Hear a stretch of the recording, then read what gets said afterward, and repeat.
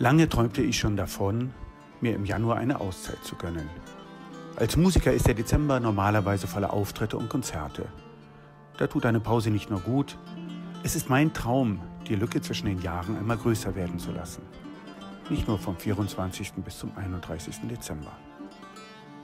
Erlebtes verarbeiten und abschließen, neue Ziele finden und formulieren und erste Schritte auf neuen Wegen gehen. Am 2. Januar begann also mein Jahr nicht in Detmold, sondern 30 Kilometer entfernt in der ehemaligen Benediktinerabtei Marienmünster. Schon von weitem erkennt man die schönen Türme der Abteikirche. Das Kloster begrüßt mich mit seinem schönen barocken Tor.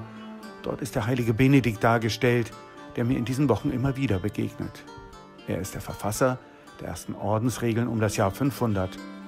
Auf diesen Benedikt von Nursia berufen sich die Benediktiner und letztlich alle Orden und Klöster des Mittelalters. Allerdings ist mein Hintergrund weniger religiös. Zum Mönch tauge ich gar nicht. Und so passt es auch, dass ich nicht in den historischen Klostergebäuden wohne, sondern gegenüber, in der Stipendiatenwohnung unterhalb des modernen Besucherzentrums.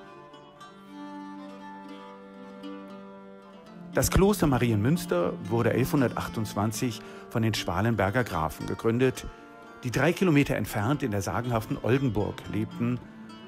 Ein mittelalterlicher Wohnturm, der mich noch heute durch seine Schroffhaut beeindruckt.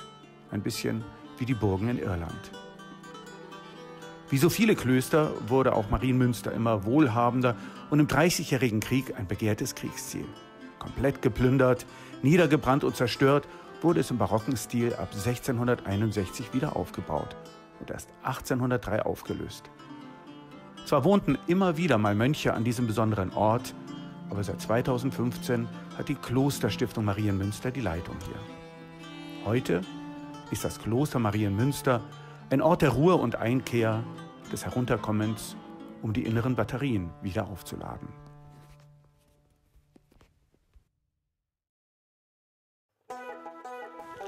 Ich habe viele Bücher zum Lernen, Lesen und zur Inspiration dabei.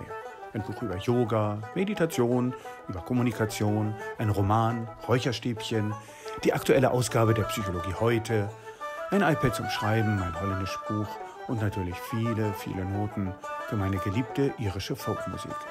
Ich bin also vorbereitet für lange, einsame Abende mit meiner Tastenfiedel, der Nückel Harper. Das irische Stück Dever the Dancer hat es mir angetan.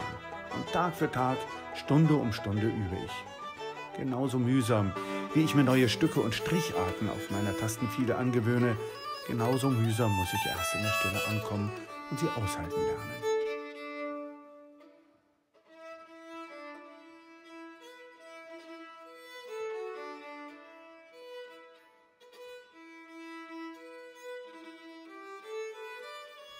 Es fängt an zu schneien.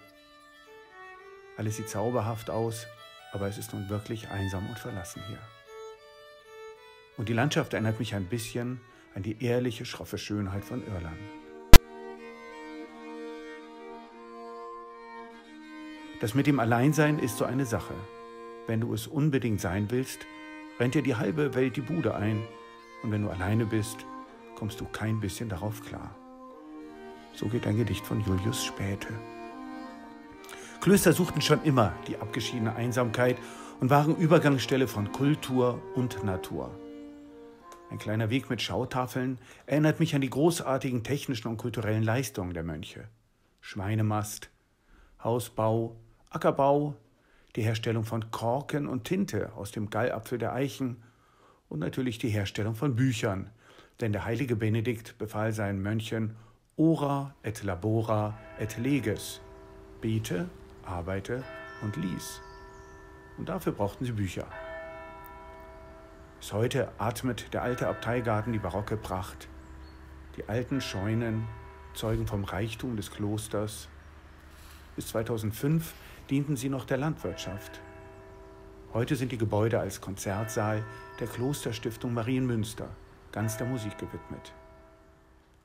In meinen täglichen Spaziergängen erlebe ich die ruhige winterliche Landschaft und die vielen besonderen Orte, Berge und Schlösser. zur Ruhe kommen, loslassen, still werden, mich öffnen, mich aufmachen und bei mir sein, den Weg nach innen suchen, mir selbst auf den Grund gehen, mein Innerstes erforschen, hier und jetzt ankommen. Auch in meinem Stück Dever the Dancer bin ich langsam angekommen und kann das Tempo steigern. Dever fängt tatsächlich an zu tanzen.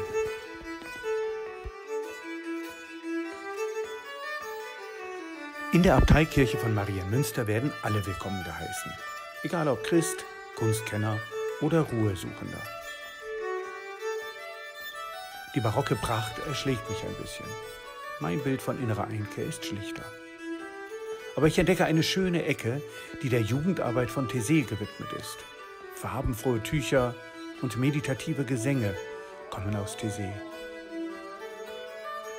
Kirchen streben mit ihren hohen Türmen zum Himmel, zu Gott, zu den Sternen. Eine schöne Skulptur entdecke ich auf dem Gelände. Von außen sieht es aus wie ein billiger Kirchturm aus Blech. Aber wenn man ihn betritt, man muss sich leicht verneigen, um hineinzukommen, sieht man durch kleine Löcher im Blech einen Sternhimmel, der einen einsaugen möchte. Eine wunderschöne Idee, wie man auch tagsüber die Sterne funkeln lassen kann. Im Besucherzentrum laden mich zahlreiche Bücher zum Innehalten ein. Meditative Texte und Anregungen für den Alltag. In der Mitte ein großer Holzkubus. Die Beschriftung entstammt dem Vorwort der Benediktregel. Höre, mein Sohn, meine Tochter, auf die Weisung des Meisters. Neige das Ohr deines Herzens, nimm den Zuspruch des gütigen Vaters willig an und erfülle ihn durch die Tat. Ich bleibe standhaft und fleißig und übe weiter an meinen Stücken. Der war The Dancer, hat es mit seinen Triolentrillern und mitreißender Melodie mir angetan. Wieder und wieder übe ich es, bis die Finger langsam die richtigen Töne finden und meine rechte Hand locker genug den Bogen führt, um die Triple, den irischen Triller, auszuführen. Langsam verschwinden die Eindrücke meines Alltags und ich tauche immer tiefer ein. Es fühlt sich an, als ob man aus einer Talsperre das Wasser ablässt und ehemalige Dörfer und Strukturen wiedersehen kann. Auch in mir kommen verschiedene Gefühle hervor, die ich eigentlich für überwunden hielt. Schöne Gefühle, aber auch unangenehme. Nach drei Wochen geht meine Zeit in Marienmünster zu Ende. Nicht alle Dinge habe ich beenden können, aber vieles auf den Weg gebracht, vieles Neues in mir entdeckt und Altes wieder ausgegraben. Egal wie man es nennt. Achtsamkeit, Seelenhygiene, Retreat, Meditation, Waldbaden, ich komme zu dem Schluss, ich habe hier keine neuen Erkenntnisse gewonnen, aber ich durfte die alten Erkenntnisse auf mein aktuelles Leben anwenden, anpassen, Beziehungen prüfen, hinterfragen, neu finden, beenden, Perspektiven prüfen oder neu entwickeln. Und das Stück Dever the Dancer kann ich mittlerweile so schnell spielen, dass ich zur Aufnahme der irischen Musiker mitfiedeln kann. Das ist fast so, als wäre man in einer irischen Kneipe. Nur halt im Kloster. In Marienmünster.